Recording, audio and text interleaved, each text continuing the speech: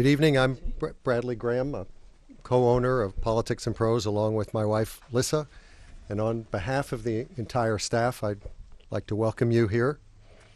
Um, before turning to our guest authors, I'd, I'd just like to, to say a word about an important event coming up this April. It's being called World Book Night, and it's an ambitious attempt to hand out 1 million free books around the United States. You can read about uh, how this amazing effort is being organized and sign up to get involved yourself at us.worldbooknight.org. Uh, I'm mentioning this this evening because the deadline to, to sign up is tonight, so there, so there's still time after this event. And now uh, a word about our guests this evening, Paula Broadwell uh, and Vernon Loeb, uh, and their new book, All In, The Education of General David Petraeus. Petraeus, of course, has become the most prominent U.S. military general since World War II. And while he's already been a subject of several books, Paula was given unusual access to him and has brought his story up to date. As Paula writes early in the book, one of Petraeus's most important mentors, General Jack Galvin, once talked to Petraeus about the concept of what Galvin called the Big M, which stood for uh, individual mystique or mythology. The idea, as Galvin explained, is that troops need to be able to make their commanders bigger than they are, to magnify them. Patton had his pistols, Ridgway his grenades, Grant his cigars. Petraeus has stood out as the epitome of the soldier scholar. Intellectually, he's famous for being the lead author of the Army's revised doctrine on counterinsurgency warfare. On the battlefield, he's credited with turning things around in Iraq following President Bush's decision at the end of 2006 to surge U.S. forces there.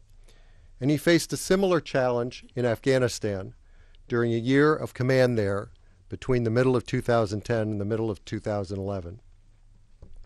Petraeus' time in Afghanistan is the focus of Paula's book, although the book has a, a broader sweep. Paula incorporates lots of biographical information about Petraeus in an effort to examine what has made him so effective and influential a leader. In fact, the book grew out of Paula's pursuit of a PhD in public policy which involved a case study of Petraeus as an example of transformational leadership and organizational innovation. As a graduate of West Point and an Army Reserve officer, Paula knows the Army from the inside.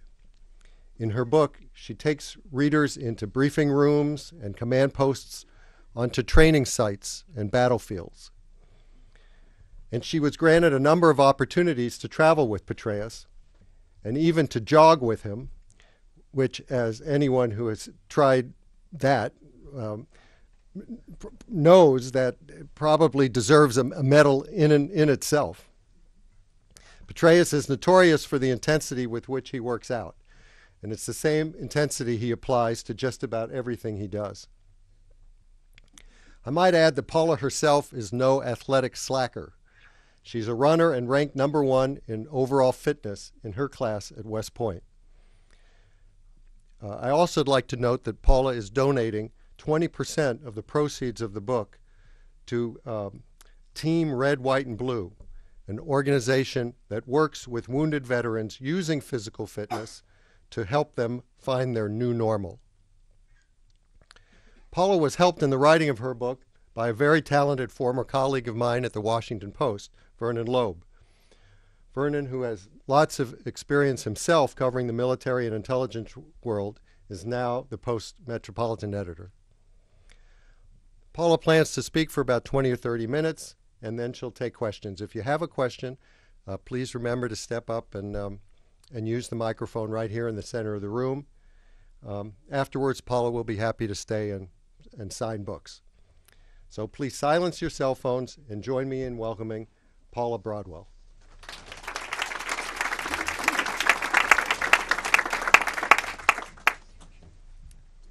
before we get started, I'd, I'd like to see how many veterans we have in the room. So um, I know who's who I'm facing. Okay, great. Well, first of all, thank you for all of your service, and I know we might have a few folks that belong to Team Red, White, and Blue as well. Are there any folks from um, from this veteran support organization?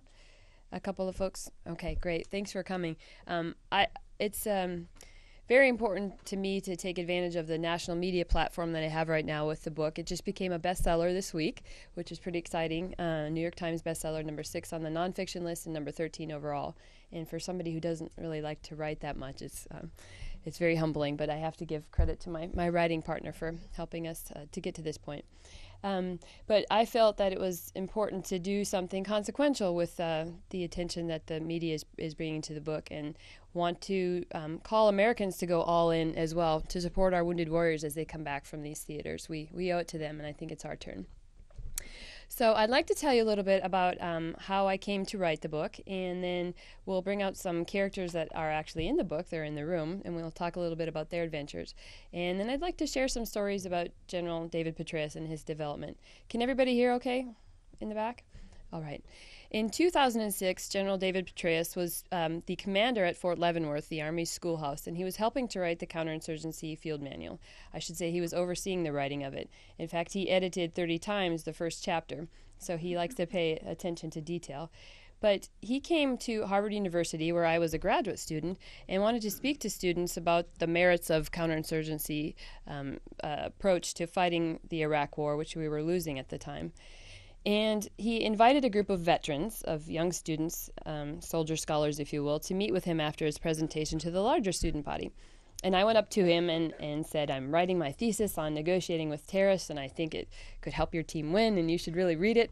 And he was kind enough to um, indulge me and take the paper and, and give me his, his business card as he does with a lot of young soldier scholars. He's very open minded about taking ideas from anyone and everyone, and in fact uses what he calls and what is has long been known as directed telescoping to reach out to those in different sectors and fields to gather ideas. So we kept in touch via email for a couple of years, and I was still a graduate student. Two years later, I reached out to him and asked if he would speak to a group of students at Harvard um, who were who were trying to find ways to galvanize greater cooperation amongst the intelligence community, the military, and, and other national security organizations. That we, as as mid-grade field officers, if you will, were frustrated seeing the lack of cooperation. So he agreed to do a video teleconference from Baghdad, and this was just after the surge had started to achieve some success in Iraq. And he opened his presentation with a quote from a Roman philosopher, Seneca Luck is what happens when preparation meets opportunity. And I feel like that has been uh, exemplary of his life. And in, in my instance with this book, um, it really captures the feeling of how I got this opportunity to write the book. And I'll go into that a little bit more in, in a bit. So, fast forward again, he, he went, um, the, he, the surge was, as we all know, um, instrumental, and Doug may argue a little bit otherwise, but the surge complemented, I think, the Iraqis' frustration with insurgency in Iraq. And basically, the tide, tide was turned there, and we were able to start to draw our forces down. And Petraeus came back um, to CENTCOM in 2008, and I was intrigued by how this individual had galvanized organizational transformation in, in the Army, had shaped this new doctrine, which was kind of old doctrine repackaged, but brought this new doctrine, um, shaped the organization of our units that were going to war, shaped the training and equipping of those forces, and so forth. And I was looking at this from a management perspective. How does an insider affect transformational, organizational transformation? And I asked him if I could use him as a case study um, in my doctoral dissertation, and, and he agreed. And so I began to um, interview him via email for approximately a year and a half. And then we had a chance to go for a run, and I, and I, I asked if I could interview him on the run, and I brought a tape recorder. And this was this is a test. It's in the, the preface of the book, but basically shows I think, well, I think why I gained rapport with him. Um, I could keep up with him on a run, and we ended up getting down to about a six minute mile pace. Needless to say, I didn't transcribe that interview. It didn't really turn out. It was a bunch of heavy breathing. Um, so we continued that sort of um, email correspondence, and, and I was writing and, and uh, in, incorporating his thoughts. And I was able to take advantage of my tribe, if you will, the military and my classmates at West Point, four of whom were his aides um, throughout his career. Um, several of them had, several other aides had been.